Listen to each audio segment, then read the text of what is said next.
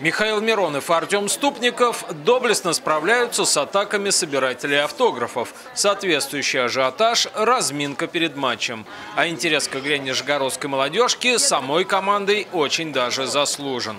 Их так интересно смотреть, а у них такой азарт, они прям борются, бьются. Ну, мальчишки есть мальчишки, я помню, мы такие же были молодые, тоже так же бились. Прям очень интересно смотреть. В повторном матче «Чайка» и «Реактор» не давали друг другу возможности отличиться на протяжении половины периода.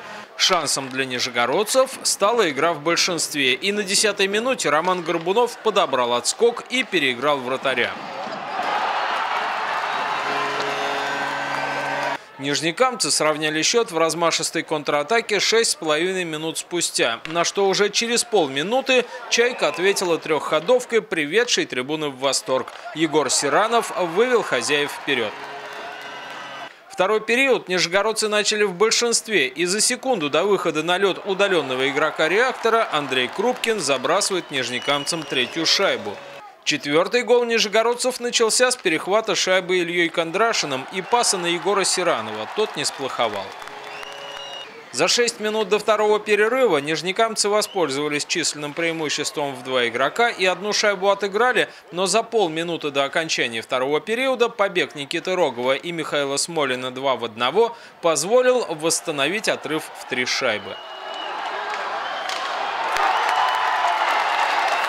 Реактор не считал дело потерянным и в течение четырех минут в середине третьего периода две шайбы отквитал. Между этими голами «Чайка» огрызнула с очередным побегом 2 в 1, но на этот раз безрезультатно.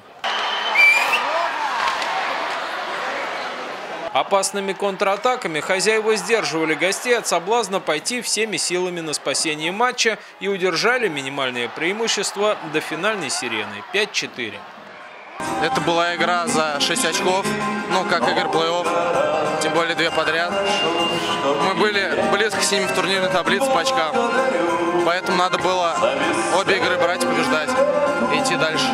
Дважды обыграв «Реактор», «Чайка» вытеснила нижнекамцев с третьей строчки турнирной таблицы Восточной конференции. Следующий матч с «Ирбисом» 25 января. Владимир Широков, Дмитрий Зимин, Торпедо ТВ.